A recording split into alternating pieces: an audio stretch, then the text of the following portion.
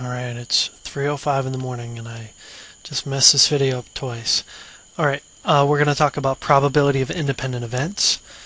I'm on the right topic this time. Last time I chose the wrong topic in ALEKS and I didn't even realize it. So um, here's what we have to do. Of the people who fished at Clearwater State Park today, 21 had a fishing license, 9 did not.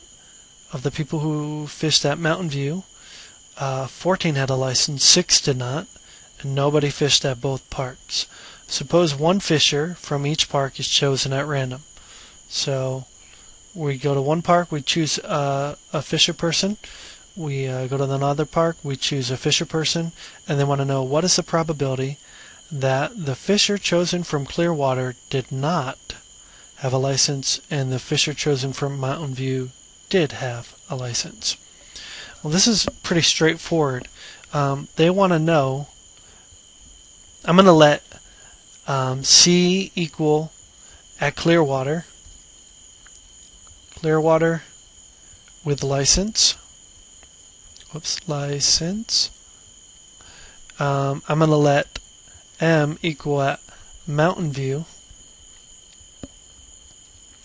with a license. Okay, so what they're asking for here is the probability of not C, so that they were at Clearwater without a license, and M. Well, because these are independent events, right? The the person, the fisher person taken from the one park is independent um, from the person chosen at the other. Okay, they have no relation. Um, so, what's P of um, not C and M? Well, it's the product of these two. So first thing we got to figure out is this, and that's easy to figure out because it's you can either take P of C and subtract it from 1, or you can just look at the 9 who did not out of 21 plus 9, which is 30. So you get um, P of C not is 9 over 30, which is 0.3. Okay? So this is 0.3. And P of M, those are people who did at Mountain View. And 14 did, 14 out of 14 plus 6, which is 20, is 0.7. So we go this times 0.7, which is 0.21 is our answer. So it's pretty straightforward. Let's go here, we'll put in 0.21. Do not round my answer. And that's that. So, um, I'm going to hit more practice. We'll do another one.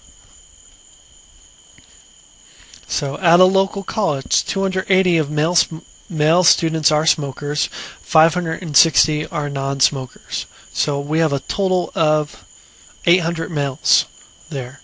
30% are non-smokers, or are, are smokers rather, because 24 uh, divided by 80 is the same. That reduces to 3 out of 10, which is 30%.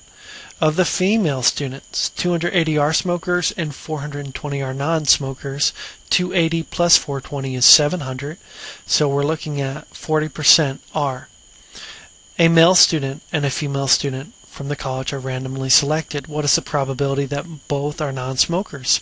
Once again, here we have independent events, so all we have to do is figure out the probability that a male student um, is a non-smoker and the female student is a non-smoker and multiply those two. So we look at the non-smoker um, stuff. And here's non-smoker, right?